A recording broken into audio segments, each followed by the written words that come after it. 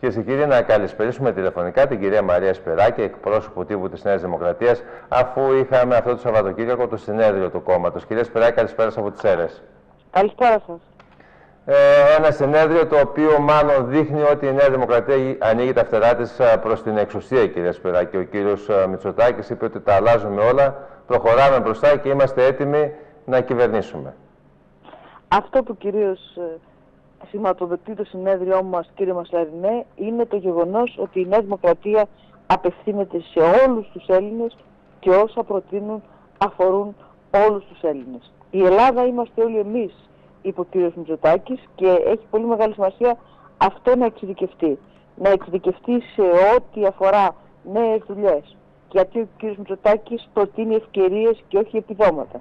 Να εξειδικευτεί σε ανθρώπους που δεν τα καταφέρνουν γιατί ο κ. Μητσοτάκης προτείνει την επέκταση του ειδικού επιδόματος του, του βασικού εγγυημένου εισοδήματος. Να αφορά στην, επιχειρηματικότητα. Γιατί προτείνει την, τον περιορισμό των φόρων. Όχι μόνο από το 29% στο 20% αλλά και τη μείωση του φόρου στα μερίσματα και τη χρήση της φορολογίας ως ενός, μιας μορφής κινήτρου ώστε να μπορούν να επενδύουν οι επιχειρηματίες στην καινοτομία και έτσι να απαλλάσσονται προτείνει η Νέα Δημοκρατία μια σειρά θέματα που αφορούν όλους με όλους τους Έλληνες και γι' αυτό είπε χαρακτηριστικά απευθυνόμενος όχι μόνος στους ψηφοφόρους της Νέας Δημοκρατίας και σε όσους σήμερα είναι κοντά στη Νέα Δημοκρατία αλλά και σε όσους εκείνους που ψήφισαν ΣΥΡΙΖΑ και ανεξάρτητους Έλληνες. Είπε λοιπόν ότι ως ψηφοφόροι οι κατηγορίες αυτές των ανθρώπων, οι άνθρωποι αυτοί διαψεύτηκαν δύο φορές. Και όταν ο ΣΥΡΙΖΑ και οι ανεξάρτητοι Έλληνες συμπεριφέρονταν αντιμνημονιακά και όταν συμπεριφέρονταν μνημονιακά.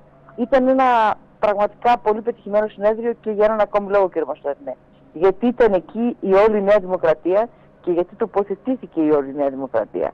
Με πρώτο τον Κώστα Καραμανλή, ο οποίος όπως ξέρετε είχε να κάνει δημόσια δήλωση από το δημοψήφισμα και ο οποίος έδωσε σαφή ε, πολιτική κατεύθυνση και χρώμα σε αυτό το συνέδριο, μέχρι τον πρώην Πρωθυπουργό, τον κύριο Αντώνη Σαμαρά, ο οποίος έλαβε το λόγο από το μήμα, αλλά και την κυρία Ντόρα Μπακογιάννη, η οποία δημόσια μίλησε για την πολιτική πορεία της Νέας Δημοκρατίας, αλλά παρουσίασε και την ε, δική της άποψη για την επιλογή του κ. Μητσοτάκη να ε, ανακοινώσει δημόσια ότι δεν προτίθεται να συμπεριλάβει κανένα μέλος της οικογένειάς τους στην ε, ε κυβέρνηση της Νέας Δημοκρατίας.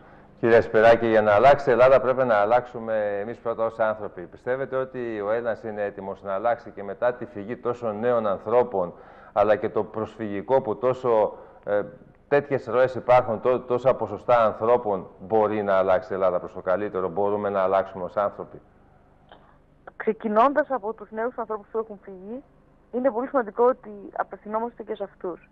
Ένας σταθερό πολιτικό περιβάλλον με δουλειές θα βοηθήσει έτσι ώστε η Νέα Δημοκρατία να μπορέσει να ε, δημιουργήσει μια κατάσταση που θα είναι ελκυστική στους νέους ανθρώπους. Οι νέοι άνθρωποι που ζουν στο εξωτερικό, ξέρετε, δεν θέλουν να έχουν αύριο το πρωί στην Ελλάδα τις αμοιβές που έχουν εκεί. Θέλουν να έχουν όμως αξιοπρεπείς αμοιβές, όχι αμοιβές των 360 ευρώ και κυρίως θέλουν να έχουν βιώσιμες δουλειές. Εκεί είναι το πρόβλημά τους.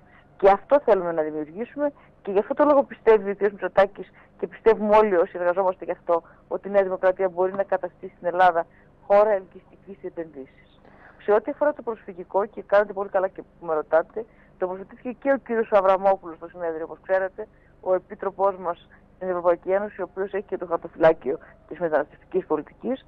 Είναι προφανές ότι είναι πολύ σημαντικό για την Δημοκρατία το ότι έχουμε επίτροπο στην Ευρωπαϊκή Ένωση, πρώην αντιπρόεδρο του κόμματος, αλλά επίσης είναι φανερό ότι η θέση μας και η στάση μας είναι κοντά στη θέση και τη στάση των χωρών του πυρήνα της Ευρωπαϊκής Ένωσης που επιμένουν ότι για να μοιραστούν οι, τα ωφέλη της Ευρωπαϊκής Ένωσης πρέπει να μοιράζονται και οι ευθύνες. Και οι ευθύνες στο προσφυγικό πρέπει να μοιράζονται αναλογικά με το μέγεθος της χώρας και με την οικονομική δυνατότητα κάθε χώρας. Άρα, ο κ. Μητσοτάκης πρώτος από τους Έλληνες πολιτικούς και ενώπιον του κυρίου Τούσκ στις Βρυξέλλες, μόλις την περασμένη εβδομάδα στη Σύνοδο Κορυφής του ΕΛ, απέρριψε τις προτάσεις του Πρόεδρου του Συμβουλίου. Η Ελλάδα βρίσκεται αλυσοδεμένη από τα μνημόνια. Πιστεύετε ότι το σχέδιο εξόδου από την κρίση που έχει η Νέα Δημοκρατία θα αρκέσει; Το σχέδιο εξόδου που, από την κρίση που έχει η Νέα Δημοκρατία έχει μια λέξη κλειδί. και η λέξη κλειδί είναι αξιοπιστία. Την αξιοπιστία της κυβέρνησης, την αξιοπιστία της Ελλάδος στο εξωτερικό θα αυξήσουμε και με αυτόν τον τρόπο θα πείσουμε τους πιστωτές ότι η κατάσταση στην Ελλάδα πρέπει να προχωρήσει μόνο με μείωση φόρων. Άλλωστε, η φόρη είναι η αρμοδιότητα ο κ. Χρυσοτάκη δεσμεύτηκε ότι θα μειώσει άμεσα τους φόρους και ταυτόχρονα θα μειώσει τις ώστε οι προπολογισμοί να είναι ισοσκελισμένοι. Και αφού περάσουμε ένα χρονικό διάστημα το οποίο θα είναι εξάμεινο και λίγο πιο πάνω, τότε θα μπορούμε να πάμε να μιλήσουμε στους πιστωτές και να τους εξηγήσουμε ότι αφοσιωμένοι στις διαφορετικές αλλαγές και έχοντας την ιδιοκτησία των μεταρρυθμίσεων μπορούμε να αλλάξουμε την Ελλάδα και μπορούμε με αυτόν να δώσουμε στους Έλληνες μια μεγάλη ανάσα οικονομική και στην οικονομία μας μια πολύ μεγάλη όθηση. Από ό,τι φαίνεται από τις δημοσκοπήσεις, ε, η Νέα Δημοκρατία εγγύζει ποσοστά αυτοδυναμίας. Ε, σε, σε άλλη περίπτωση όμως, από ό,τι φάνηκε από το συνέδριο, η κυρία Γεννηματά και το ποτάμι είναι έτοιμοι να συμπράξουν μαζί σας; Αυτό που σίγουρα φάνηκε από το συνέδριο είναι ότι υπάρχει μια αίσθηση ότι υπάρχει μια, ένα έδαφος για προγραμματική σύγκληση ανάμεσα στη Νέα Δημοκρατία, ε, το Πασόκ και το Ποτάμι. Όμως, όπως και εσείς προείπατε, οι δημοσκοπήσεις δείχνουν ότι η Νέα Δημοκρατία είναι κοντά στην αυτοδυναμία, ειδικά στην περίπτωση που στη Βουλή μπουν πέντε κόμματα και τότε, όπως καταλαβαίνετε, και ο πύχης χαμηλώνει. Αλλά έχει μεγάλη σημασία η Νέα Δημοκρατία, ανεξαρτήτως του αν θα είναι ή όχι αυτοδύναμη. Το πρώτο είναι πιθανότερο να είναι αυτοδύναμη δηλαδή. Η, η Νέα Δημοκρατία και ο κ. Μητσοτάκης θα απευθυνθούν σε όλους όσοι μπορούν να συμφωνήσουν με βασικές προγραμματικές μας θέσεις, ώστε να υπάρχουν ευρύτερε συγκλήσεις. Έχει σημασία, κύριε Μαστρανέ, να περάσουμε από την περίοδο που οι Έλληνε ήταν διχασμένοι στην περίοδο που οι Έλληνε εργάζονται για κοινούς στόχους. Για να μπορέσουμε έτσι να χτίσουμε τη μεταμνημονιακή Ελλάδα, να μπορέσουμε έτσι να δώσουμε στα παιδιά μας ένα καλύτερο μέλλον. Είπε πάρα πολύ ωραία ο, ο σκηνοθέτης και ηθοποιός, ο κ. Μαρκουλάκης, ότι πρέπει να σπρώξουμε αυτό το μεγάλο βράχο που έχει καθίσει πάνω στην πατρίδα μας λίγο πιο πέρα. Και μετά θα έρθει η σειρά των παιδιών μας. Φαίνεται όμως ότι η Ελλάδα για πολλά χρόνια μετά τον, τον Δεύτερο Παγκόσμιο Πόλεμο και τον εμφύλιο ακόμα να, να χτίζει πάνω σας με τα εμφυλιακές αυτές απόψεις και διαφορές και, και πάθη και εμείς μερικές φορές. Ξέρετε, εμείς αυτό πια το έχουμε αφήσει τελείως πίσω μας. Και αν έχετε την καλοσύνη να προβάλλετε και θα έχει σημασία και για όλους όσοι μας ακούνε και μας βλέπουν το βίντεο που δείξαμε σήμερα που αφορά στην ιστορία της Δημοκρατίας. Ξεκινάμε μια ιστορική φράση του Κωνσταντίνου Καραμαλή για το τι είναι η Νέα Δημοκρατία. Η Νέα Δημοκρατία είναι ο χώρος που φεύγει από, την παραδοσιακή, από τον παραδοσιακό διαχωρισμό δεξιάς, αριστεράς, κέντρου. Είναι ο χώρος που ενώνει όλους τους Έλληνες και όπως είπε ο κ. Ψωτάκη, ένα μεγάλο λαϊκό κόμμα.